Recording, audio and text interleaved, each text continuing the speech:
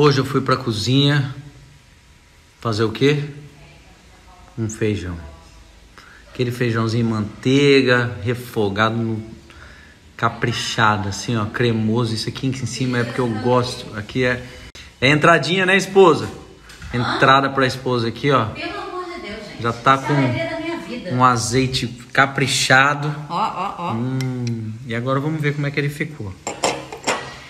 Vamos ver, vamos ver, vamos ver, vamos ver. É o melhor. Não tem, tem um melhor que esse. Feijãozinho, feijãozinho manteiga, ó. Fica bom demais da conta, né? Fica. Tá gostoso? Pelo amor de Deus, gente. Isso aqui, vocês não têm noção. Não tem noção. Esse aqui tá com a linguiçinha. Esse aqui, a linguiçinha eu vou dar pra você, tá? Chega, chora. Aqui, ó.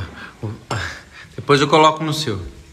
Não sei se vocês sabem, mas eu vou falar uma informação. Tem um livro da doutora, eh, na verdade quem indicou foi a doutora Carla, que é a obstetra das crianças, mas ela é uma nutróloga, estuda pra caramba essas coisas de vida saudável. E além de com livro, eu vou depois eu vou falar qual livro que é.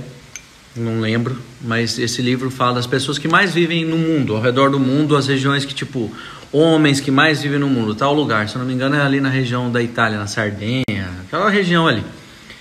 As mulheres que mais vivem no mundo, se eu não me engano, é no Japão, é um lugar do Japão. Aí eles foram estudar por quê. E aí, em todos os lugares dos, da- dos- das pessoas mais, mais centenárias, o alimento que todos comiam é o feijão.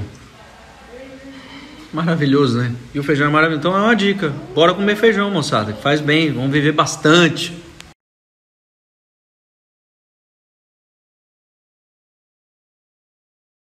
Tava fazendo treininho hoje, encarei a escada, aí depois o TRX, um pouquinho de peso, hoje eu treinei costas. Ai, coisa boa demais de poder treinar. É difícil, né? Vencer a preguiça, mas é bom. Por falar em treino, meu companheiro Januário, grande Januário, parceiro, que já treina a gente há muito tempo, ele tá dando consultoria online pra galera que quiser treinar com sabedoria, com treino top.